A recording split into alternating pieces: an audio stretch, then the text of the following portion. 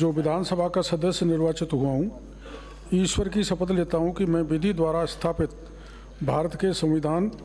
के प्रति सच्ची श्रद्धा और निष्ठा रखूँगा, मैं भारत की प्रभुता और अखंडता अक्षुण रखूँगा, तथा जिस पद को मैं ग्रहण करने वाला हूँ, उसके कर्तव्यों को श्रद्धापूर्वक निर्वहन करूँगा। श्री गणेश घोगरा विभाजन संख्या 29